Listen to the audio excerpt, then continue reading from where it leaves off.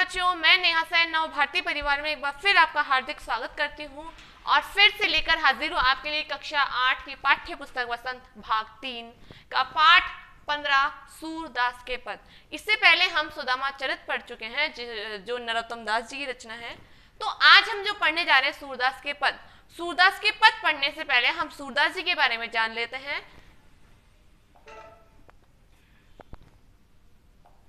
सूरदास जी कहा जाता है, हिंदी साहित्य में कहावत है कि सूर सूर तुलसी ससी, उड़गन केशवदास अब के कवि खद्योत है, जह तह करत प्रकाश। कहावत यह है कि कहा जाता है कि सूर सूर तुलसी ससी। सूर सूर यानी सूरदास को सूर, यानी सूर्य की उपमा दी गई है, सूर्य की उपाधि दी गई है, ठीक है? सूर सूर तुलसी ससी, यानी तुलसीदास जी कौन है? तुलसीदास जी को चंद्रमा की उपाधि दी गई है। उड़गन केशव दास उड़गन यानी जुगनू। जुगनू किसे कहा गया है? केशव दास जी को, जो रीतिकाल के प्रवर्तक माने जाते हैं कई आचार्यों के अनुसार। और अब के कवि खद्योत हैं, यानी अब के जो कवि हैं वो क्या है? खद्योत यानी कि तारागण है जो इधर उधर प्रकाश करते रहते हैं। यानी सूरदास जी को सूर्य की उपमा दी गई है, सूर्य की उपाधि दी गई है। उन्होंने अपने प्रकाश से, अपनी रचनाओं के प्रकाश से, अपने वात्सल्य रस से भरी हुई रचनाओं से हिंदी साहित्य को अनूठी देन दी है, जो इसके बारे हम आज भी पढ़ते हैं। जैसा वर्णन उन्होंने राधा राधा कृष्ण का किया है सूरदास जी ने जो कृष्ण के बाल रूप का जो वर्णन किया है, वो शायद ही कोई कवि होगा जिसने ऐसा वर्णन किया होगा। तो सूरदास जी को उनके वात्सल्य रस से भरे हुए वर्णन के बारे में जाना जाता है और राधा कृष्ण की भक्ति जो उन्होंने की थी, उसके बारे में उन्हें जाना जाता है। तो जान लेते हैं हम सूरदास जी का परिचय। कहा जाता है कि सूरदास जी का जन्म 1478 ईस्वी में रुणकता नामक गाँव में हुआ था और ये रुणकता गाँव का है मथुरा आगरा मार्ग में किनारे में स्थित है, ठीक है? कुछ विद्वानों का मत यह है कि सूर का जन्म सीही नामक गाँव में एक निर्धन सारस्वत ब्राह्मण के घर में हुआ था। वह बहुत विद्वान थे। उनके लोग आज भी चर्चा करते हैं, मथुरा के बीच गौ घाट पर आकर रहने लगे थे। कौन? सूरदास जी। सूरदास के पिता रामदास जी भी गायक थे। सूरदास के जन्मांध होने के विषय में मतभेद है। क्यों है ये मतभेद? क्योंकि सूरदास जी ने जो प्रकृति चित्रण किया है, वो कोई भी जन्मांध व्यक्ति नहीं कर सकता। क्यों नहीं कर सकता? क्योंकि प्रकृति का जो सुंदरतम, जो अन्यतम आकर्षक वर्णन इन्होंने किया था, वो एक आँखों देखा हाल ही व्यक्ति कर सकता है। तो कुछ लोग तो ये कहते हैं कि जन्म से अंधे थे और कुछ का मानना ये है कि जन्म से अंधे नहीं थे, बल्कि जीवन में आगे जाकर ये अंधे हुए थे। प्रारंभ में सूरदास आगरा के समीप गौ घाट पर रहते थे। वहीं उनकी भेंट श्री वल्लभाचार्य से हुई और वे उनके शिष्य बन गए। अब यहाँ पर ध्यान देने वाली बात यह है कि वल्लभाचार्य जी से मिलने से पहले सूरदास जी की जो भक्ति थी, वो दास्य भाव की भक्ति थी। अब भक्ति, दास्य भाव की भक्ति क्या होती है, देखिए मैं आपको पहले भी बता चुकी हूँ और फिर रिपीट करती हूँ कि भक्ति जो होती है, वो तीन प्रकार की होती है। दास्य भाव की भक्ति, माधुर्य भाव की भक्ति और सख्य भाव की भक्ति। दास्य भाव की भक्ति वो होती है जब ईश्वर को अपना स्वामी मान करके और स्वयं को सेवक मान के जब भक्ति की जाती है, आराधना की जाती है तो वो दास्य भाव की भक्ति कहलाती है। जब ईश्वर को अपना सर्वस्व मान करके, अपना पति मान करके भक्ति की जाती है तो वो माधुर्य भक्ति होती है। और अगर भगवान को अपना सखा, अपना दोस्त मान के भक्ति की जाती है तो वो सख्य भाव की भक्ति होती है। तो हमारे, जो ये, कौन? सूरदास जी थे। ये सूरदास जी की भक्ति कैसी थी? पहले दास्य भाव की भक्ति थी। अब दास्य भाव की भक्ति अगर आप देखें तो उसका सर्वोत्तम उदाहरण आपको मिलेगा तुलसीदास जी के काव्य के अंदर। तुलसीदास जी ने स्वयं को सेवक और भगवान राम और हनुमान को अपना स्वामी मान करके उनकी आराधना की थी। उनका उनकी भक्ति की थी। माधुर्य भाव की भक्ति का अगर आप उदाहरण देखते हैं तो आप मीराबाई को देखिए। उन्होंने श्री कृष्ण को अपना पति मान करके भक्ति की थी, उनकी आराधना की थी, और सर्वस्व उन पर न्यौछावर कर दिया था। और कहा जाता है कि अंत में जब वो मृत्यु को प्राप्त हुई थी, तब वो उनके मुख में समा गई थी, ऐसी की वंदती है। ठीक है? और सख्य भाव की भक्ति देखें तो हमारी सूरदास जी की जो भक्ति है, वो सख्य भाव की भक्ति मानी जाती है। उन्होंने कृष्ण को अपना सखा मान करके, अपना सहयोगी मान करके उनकी भक्ति की है। लेकिन ये उनकी सख्य भाव की भक्ति, पहले दास्य भाव की भक्ति थी और वल्लभाचार्य जी के संपर्क में आने के बाद में इनकी भक्ति जो है, वो सख्य भाव की भक्ति में परिवर्तित हुई थी। तो इनकी भेंट वल्लभाचार्य से कहा हुई थी? गौ घाट पर हुई थी और यहीं पर इन्होंने इनसे दीक्षा ग्रहण की थी। वल्लभाचार्य ने उनको पुष्टि मार्ग में दीक्षित करके कृष्ण लीला के पद गाने का आदेश दिया था। अब पुष्टि मार्ग क्या होता है? पुष्टि मार्ग होता है मोक्ष प्राप्ति का मार्ग। कृष्ण भगवान की जो भक्ति की जाती है, वल्लभाचार्य जी ने कृष्ण भक्ति में, यानी कृष्ण भगवान की पूजा में आठ आरतियों को सम्मिलित किया, अर्थात आठ दिन में आठ बार उनकी पूजा की जाती है। शयन आरती होती है, मंगल आरती होती है, भोजन आरती होती है, इस प्रकार आठ प्रकार की आरती होती है। और जो जन्माष्टमी का जो उत्सव होता है, जन्माष्टमी का उत्सव भी वल्लभाचार्य जी की ही देन है। भक्ति के अंदर जो गीत हुए हैं। वो गीत भी कहा जाता है वल्लभाचार्य जी के कारण ही हमारी जो साहित्य है, उसमें आए हमारे इतिहास में आए हैं। तो भक्ति के अंदर पुष्टि मार्ग किसकी देन है? वल्लभाचार्य जी की देन है। वल्लभाचार्य जी के पुत्र थे विठलनाथ जी। कौन थे? विठलनाथ जी, जिन्होंने सूरदास जी की मृत्यु पर कहा था कि पुष्टि मार्ग को जहाज़ जात है, जाको कछु लेनो हो तो ले लो। अर्थात पुष्टि मार्ग का जो जहाज़ है, वो इस दुनिया से चला गया है। जिसको कुछ लेना हो, वो ले लीजिए। तो सूरदास जी की मृत्यु कब हुई थी? गोवर्धन के निकट पार्सोली ग्राम में पंद्रह चौरासी ईस्वी में इनकी मृत्यु हुई थी। कुछ विद्वान इसका पंद्रह भी निधन इनका मानते हैं। तो ये था सूरदास जी का परिचय। सूरदास जी सूरदास जी के बारे में कहा जाता है कि उन्होंने भगवान कृष्ण की जो बाल लीला है, उनका बहुत ही सुंदर वर्णन किया है और उन्हीं लीलाओं में से दो लीलाओं का, दो पदों का वर्णन आज हम करने जा रहे हैं। अगर सूरदास जी की आप रचनाएँ देखें तो उनकी तीन रचनाएँ मानी जाती है, जिनमें साहित्य लहरी सूर सागर और सूर सारावली है। तो आज हम जो पद पढ़ने जा रहे हैं सूरदास जी के, उनमें दो पद मुख्य हैं, जिनके बारे में हम पढ़ रहे हैं। सूरदास जी की जन्म तिथि एवं जन्म स्थान के विषय में भी भेद, मतभेद माने गए हैं। कहा जाता है कि सूरदास जी की जन्म तिथि एवं जन्म स्थान के विषय में विद्वानों में मतभेद है। साहित्य लहरी, जो कि सूरदास की रचना है, की लिखी रचना मानी जाती है, इसमें साहित्य लहरी की रचना काल के संबंध में निम्न पद मिलता है कि मुनि पुनि के रस लेख दसन गौरी नंद को लिखी सुवल संवत पेख। इसका अर्थ संवत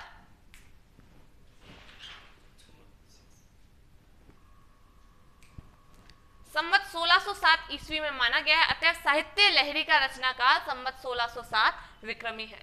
इस ग्रंथ से यह भी प्रमाण मिलता है कि सूर के गुरु श्री वल्लभाचार्य जी थे।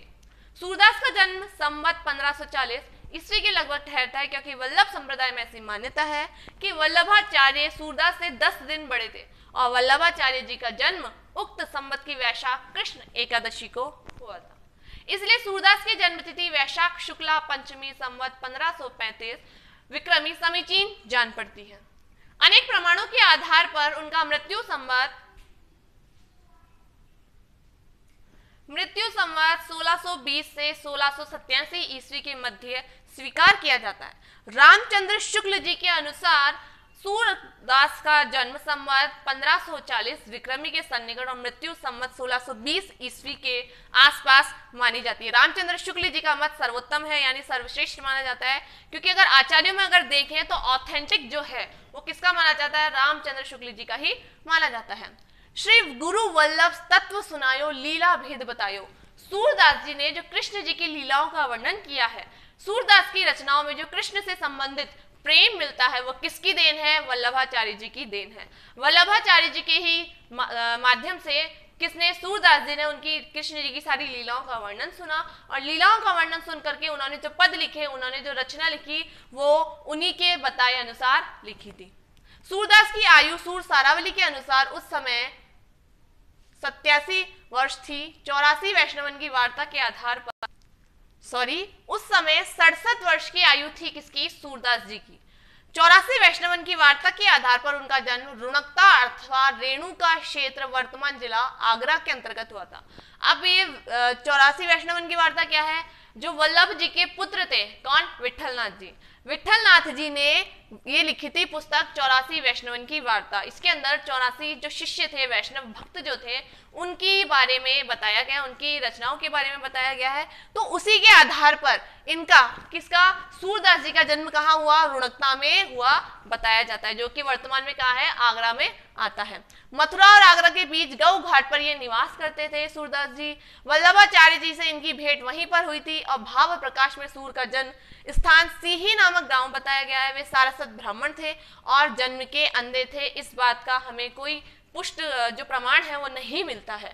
आईने अकबरी में तथा मुत खबूत तवारिख के अनुसार तुलदास को अकबर के दरबारी संगीतज्ञों में भी माना है।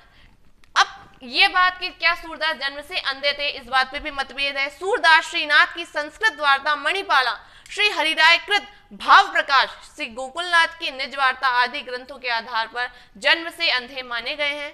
लेकिन राधा कृष्ण के रूप सौंदर्य का सजीव चित्रण और नाना रंगों का वर्णन, सूक्ष्म पर्यवेक्षणशीलता आदि गुणों के कारण अधिकतर विद्वान सूर के, सूर को जन्मांध स्वीकार नहीं करते हैं, क्योंकि उन्होंने जो वर्णन किया है, उनके जो काव्य है, उसके अंदर रंगों का, सजीव चित्रों का वर्णन इतना उत्तम, इतना अति मतलब उच्च क्रिकेट, उच्च कोटि का है, इतना सर्वश्रेष्ठ है कि कोई भी उनके जन्मांध होने पर शक महसूस करता है।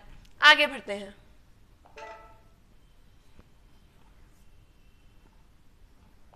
सूरदास जी के द्वारा रचित पाँच ग्रंथ माने गए हैं। पहला सूर सागर, जो सूरदास जी की प्रसिद्धि का प्रमुख ग्रंथ माना जाता है, आधार माना जाता है। इसमें सवा लाख पद संग्रहित थे, लेकिन अब सात से आठ हज़ार पद ही मिलते हैं। सूर सारावली, साहित्य लहरी साहित्य लहरी में उनके कूट पद संकलित हैं। इसके अलावा नल दमयंती और ब्याहलो भी इनकी प्रमुख रचना मानी गई है। लेकिन अगर आप अन्य पुस्तकों में देखेंगे और कहीं देखेंगे तो आपको ये तीन रचना ही मिलेंगी। इन दोनों का आपको उल्लेख नहीं मिलेगा।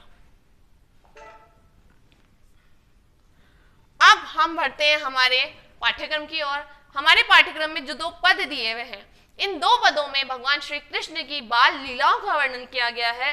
वात्सल्य रस से ओतप्रोत इस रचना में इस पद में आपको कृष्ण जी की शरारतों का कृष्ण जी के गुस्सा होने का कृष्ण जी के आ, मतलब माँ है आप देखेंगे घर में हमारे छोटे बच्चे होते हैं। छोटे बच्चों को हम कोई ना कोई बहाना करके या तो दूध पिलाएँगे खाना खिलाएँगे बहुत नखरे करते हैं खाने पीने में। तो ऐसे ही जब कृष्ण जी छोटे थे तो वो भी बहुत नखरे क्या करते थे खाने पीने में। जब वो छोटे थे, उनकी माँ ने उन्हें कहा, यशोदा मैया ने कहा कि बेटा, दूध पीना चाहिए। दूध पीने से चोटी लंबी हो जाती है और चोटी लंबी कैसे होगी आप रोज दूध पियोगे, कच्चा दूध। आप कच्चा दूध पियोगे, आप बालों को साबुन से नहलाओगे तो आपकी जो चोटी है, वो बलराम जितनी लंबी हो जाएगी और ज़मीन पर फैल जाएगी। तो इस बात का जब उन्हें लालच दिया गया, इस बात का मोह दिया गया तो कृष्ण जी रोज दूध पीते थे। अब रोज दूध पी पी करके परेशान हो गए। मैया ने भी कहा, बेटा, दूध पी रहा है, कोई बात नहीं। उसको झूठे बातें बता बता करके उसे दूध पिलाया। लेकिन एक दिन कृष्ण जी को भी गुस्सा आ गया। गुस्सा होकर के माँ के पास आके बोलते हैं, माँ, तुमने कहा था कि दूध पीने से चोटी बड़ी हो जाती है, लेकिन मेरी चोटी तो इतनी की इतनी है ये तो बढ़ी नहीं रही है। तुमने झूठ कहा था मेरे से। मैं तो कब से दूध पी रहा हूँ? कितने दिनों से दूध पी रहा हूँ? लेकिन ये चोटी नहीं बढ़ रही है। तो आइए देखते हैं क्या कह रहे हैं कृष्ण जी। मैया, कब ही बढ़ेगी चोटी? कितनी बार मोहि दूध पियत बई ये अजहू है छोटी। तू तो कह, तू जो कहती बल बेनी ज्यो। हुए है लांबी मोटी। काढ़त गुहत नहावत जय है। नागनी सो भी लोटी। काचो दूध पियावत पची पची देती ना माखन रोटी सूरज चिर जीवो दो भैया हरि हलदर की जोटी अब यहाँ पर सूरदास जी ने वर्णन किया है कि कृष्ण जी गुस्सा हो गए और गुस्सा होकर के माँ के पास आए। माँ के पास आकर के वो बोलते हैं, मैया, ये चोटी कब बढ़ेगी? कितनी बार मुझे दूध पी, भी मुझे कितनी बार तुमने दूध पिला दिया? मैंने अनेकों बार दूध पी लिया, लेकिन ये आज भी छोटी की छोटी ही है, ये बड़ी ही नहीं है। तू तो कहती बलबेनी, जो है वे लंबी मोटी, तू तो कहती थी कि ये तो खूब लंबी हो जाएगी दूध पीने से, लेकिन ये तो छोटी की छोटी है, ये लंबी भी हो जाएगी और मोटी भी हो जाएगी। काड़त घुवत नहावत जैसे, इसमें तंगी करेंगे, इसको नहलाएँगे नागिन सुभई लोटी तो ये नागिन की जैसी लंबी और मोटी हो जाएगी। काली नागिन का प्रतीक लिया यहाँ, जैसे काली नागिन मोटी होती है, काली होती है, वैसे ही आपकी जो चोटी है, वो भी दूध पीने से काली और मोटी हो जाएगी। कांचो दूध पियावत पचपची, कि तू कच्चा दूध पिलाती है मेरे को रोज रोज ही। मैं परेशान हो गया हूँ, थक गया हूँ कच्चा दूध पी पी करके। देती ना माखन रोटी, तू मुझे माखन रोटी भी नहीं देती हो सूर चुर चिर जीवो दो भैया अब सूरदास जी यहाँ वर्णन कर रहे हैं, सूरदास जी अपनी भावना व्यक्त कर रहे हैं और मैया के माध्यम से व्यक्त कर रहे हैं, मैया यशोदा के माध्यम से व्यक्त कर रहे हैं कि मैया हलधर हलधर यानी बलराम जी हल को धारण करने वाले और हरि हरि यानी भगवान कृष्ण, की मैया कहती है कि मेरे दोनों बेटे हरि और हलधर की जोड़ी हमेशा चिरंजीवी रहे, लंबी आयु वाली हो। हरि और हलदर। हरि यानी कृष्ण भगवान और हलदर यानी बलराम। तो दोनों को साथ में खेलता और खाते हुए देख कर मैया यशोदा उनकी भलाइयाँ ले रही है और मन ही मन ने आशीर्वाद दे रही है कि ये इन दोनों की जोड़ी हमेशा खुश रहे, चिरंजीवी रहे। आगे बढ़ते हैं। अब जो काना है वो घर को छोड़ करके कहा निकल गए हैं? बाहर निकल गए हैं गलियों में। और गलियों में जाकर के वो हर घर में चोरी किया करते हैं चुप चुप के माखन खाया करते हैं। तो उनकी इन्हीं शरारतों से परेशान होकर ग्वालन मैया के पास आती है और मैया को आकर के कृष्ण जी की शिकायत करती है। क्या कहती है? तेरे लाल मेरो माखन खायो कि तेरे लाल ने मेरा माखन खाया है। दोपहर दिवस जानी घर सुनो, ढूंढी ढंडोरी आप ही आयो। खोल केवारी बैठे मंदिर में दूध दही सब सखनी खवायो, उखल चढ़ी सीके को लीनो, अनभावत भूमि में ढरकायो। दिन प्रति हानि होत गौरस की, यह ढोठा कौने ढंग लायो? सूर श्याम को हट की न राखे ते ही पूत अनोखो जायो। अब ग्वालन यहाँ पे आके तंज कस रही है। क्या कह रही है? कि देखो, कि तेरा लाल जो है, कृष्ण जो है, उसने मेरा माखन खाया है। दोपहर दिवस जाने, घर सुनो, कि दोपहर के टाइम में वो दोपहर का टाइम जान करके घर में कोई नहीं होता, सुने घर को देख करके। क्या कह रही है? ढूंढे ढंडोरी आप ढूंढता ढकोलता आ गया, यानी ढूंढते ढूंढते, सुने घरों को ढूंढते ढूंढते वो मेरे घर में घुसाया खोल की बारी, दरवाज़ा खोला। बैठे मंदिर में चुपचाप जाके मंदिर में बैठ गए। दूध, दही सब सखनी खवायो। खुद ने खाया जो खाया, उसके जो सखी थे, उसके जो साथ वाले थे फ्रेंड्स थे उनको भी साथ में खिलाया। उखल चढ़ी सीके को लेना। ओखली ओखली होती है ना, जिसके अंदर अनाज कूटा जाता है। वो बहुत लंबी लंबी हुआ करती थी। ऊखल चढ़ी, ऊखल क्या होता है? ओखली, जिसके अंदर धान कूटा जाता है। तो वो बहुत बड़ी बड़ी हुआ करती थी पहले। तो सारे दोस्तों ने, कृष्ण जी ने, बलराम जी ने, सुदामा जी ने मिलकर क्या किया? उस ओखली को लाए, उस ओखली पे चढ़े और ओखली पे चढ़ के छीके पे रखी हुई मटकी, जो माखन से भरी हुई थी, पहले ऊपर डोरी बाँध करके, रस्सी बाँध करके मटकियों को लटका दिया जाता था कि बिल्ली उन तक ना पहुँच सके। पर यहाँ तो कृष्ण भगवान इतने नटखटते, इतने शरारती थे कि वो ओखली पे चढ़ते हैं, ओखली पे चढ़ के छीका उतारते हैं, छीके पर से मटकी उतार के अनभावत भूमि में ढरकायो कि खाते हैं जो खाते हैं, बाल गोपालों को खिलाते हैं और ज़मीन पर फैला देते हैं धरती पर फैला देते हैं। दिन प्रति हानि होती गौरस की कि हमें दिन प्रतिदिन हानि होती है गौरस की घी की, दूध की, मक्खन की हमें दिन प्रतिदिन क्षति हो रही है, हानि हो रही है हमें। ये ढोटा कौने ढंगलायो? ये तुम्हारे बेटे का कौन सा तरीका है? हमें तो समझ में नहीं आया। सूर्य श्याम को हट की न रखे। अब वो ग्वालन सूरदास के सूरदास जो है, वो ग्वालन के माध्यम से मैया को क्या शिकायत कर रहे हैं? कि तुम श्याम को हटकी हटकी यानी डरा धमका कर उनको डांट करके नहीं रखती हो। पूत ते ही पूत अनोख हो जाए कि तुमने ही स्पेशल बेटा जन्मा है क्या? तुमने ही अनोखा बेटा जन्मा है क्या? जो सारे गाँव के बच्चों को लेकर के हर घर में चोरी किया फिरता है। अर्थात तुम अपने बेटे को समझा बुझा के रखो कि खाना चोरी करके खाना अच्छी बात नहीं होती है। आपको अपने बेटे को डरा धमका कर समझा कर रखना चाहिए। तो ये था हमारे सूरदास के पद। फिर मिलेंगे आपसे नेक्स्ट वीडियो में नेक्स्ट टॉपिक के साथ। तब तक के लिए धन्यवाद।